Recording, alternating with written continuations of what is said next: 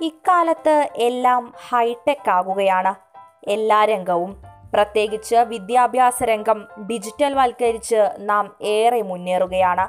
കുരുന്നുകൾ അക്ഷരങ്ങളുടെയും അറിവിന്റെയും ലോകത്തേക്ക് പിച്ചവെച്ച് തുടങ്ങുമ്പോൾ തന്നെ അവർക്ക് ഏറ്റവും പുതിയ സംവിധാനങ്ങളുമായി മികച്ച പഠനം നൽകുന്നതിൽ നാം വിജയിക്കുകയാണ്.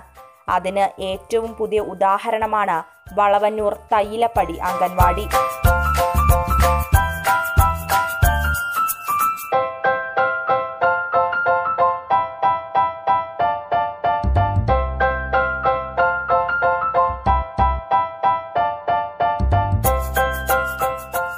വളവന്നൂർ ഗ്രാമപഞ്ചായത്ത് പതിനെട്ടാം വാർഡ് വരമ്പനാല തയ്യിലപ്പടി പ്രവർത്തിക്കുന്ന നൂറ്റി പതിനേഴാം നമ്പർ അംഗൻവാടിയാണിത്.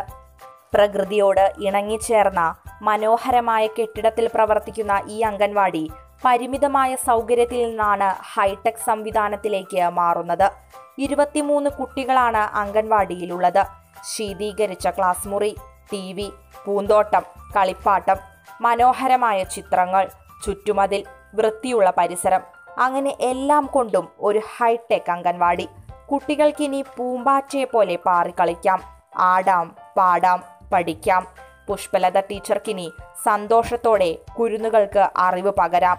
അംഗൻവാടിയിൽ എത്തിയ കുട്ടികൾക്ക് എവിടെ പോയാലും എന്തും പറയാനുള്ളൊരു ഗഡ്സ് ഉണ്ടാവും. കാരണം എന്താ വെച്ചാൽ അവർക്ക് എന്തും പറയാനുള്ള സ്വാതന്ത്ര്യം നമ്മൾ കൊടുക്കുന്നുണ്ട്. എന്തും ചെയ്യാനുള്ള സ്വാതന്ത്ര്യം കൊടുക്കുന്നുണ്ട്. കളികളിലൂടെയുള്ള പഠന രീതിയാണ് സ്നേഹമാണ് ഭാഷ. കളിയാണ് രീതി എന്ന നിലയിലാണ് നമ്മൾ തുടങ്ങുന്നത്. അത് അപ്പൊ നമ്മളോട് തന്നെ അവർ വീട്ടിലത്തെ അതേ ഒരു ഇതിലാണ് പെരുമാറൽ. അപ്പൊ അവർക്ക് എന്തും പറയാനും ചെയ്യാനുള്ളൊരു ഇത് കൂടുതലായിരിക്കും അവർക്ക് കഴിവ് കൂടുതലായിരിക്കും. നാട്ടുകാർക്ക് അഭിമാനത്തോടെ ഈ അംഗൻവാടിയിലേക്ക് കുട്ടികളെ പറഞ്ഞയക്കാം. പഞ്ചായത്തിന്റെയും നാട്ടുകാരുടെയും ശ്രമബലമായാണ് അംഗൻവാടി ഇത്രയധികം പുരോഗതിയിലെത്തിയത്. പഞ്ചായത്തിന്റെ ഭാഗത്ത് അടിസ്ഥാന സൗകര്യ സൗകര്യങ്ങളെല്ലാം ഇതിന് ഈ അംഗൻവാടിക്ക് കിട്ടിയിട്ടുണ്ട്. കെട്ടിടം പണി പൂർത്തീകരിച്ചു.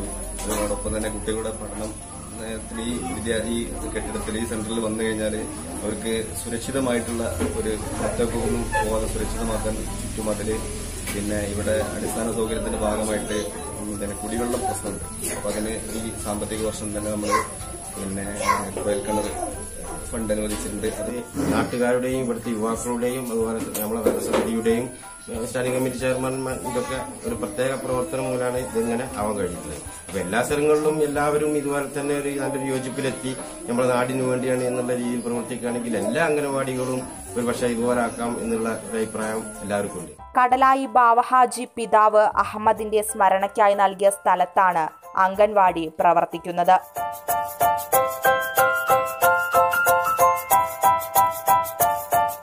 News desk Tirur live.